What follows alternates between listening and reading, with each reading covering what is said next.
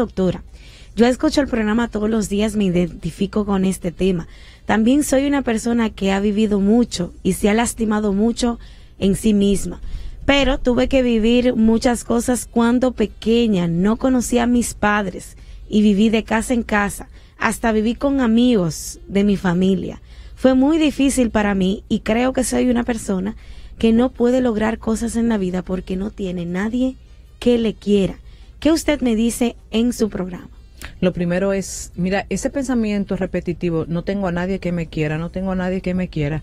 En realidad, por más que te quieran, no lo vas a ver, porque tú estás convencida que nadie te quiere. Eso es un pensamiento muy destructivo. ¿Tú entiendes? Es un pensamiento disfuncional, tóxico, mi niña. Claro que sí, que tú tienes personas que te quieren, que, que te admiran.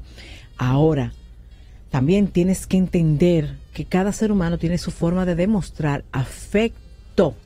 Ahora, también debo de decirte, como lo dije al inicio, fíjate cómo tú no fuiste criada por tus padres, tuviste esa ausencia, esa carencia, y claro que eso se va a reflejar en el mañana. Claro que eso se va a reflejar, pero yo estoy segura que hubo personas importantes en tu vida. Yo lo sé. Lo que no te puedes quedar rumiando es yo no tuve a papi y a mami, entonces como yo no tuve a mi papá y a mi mamá, eh, las cosas no me salieron bien y ya yo me fastidié en la vida. No. Ojalá puedas ir a terapia y en tu caso tiene que ser terapia familiar.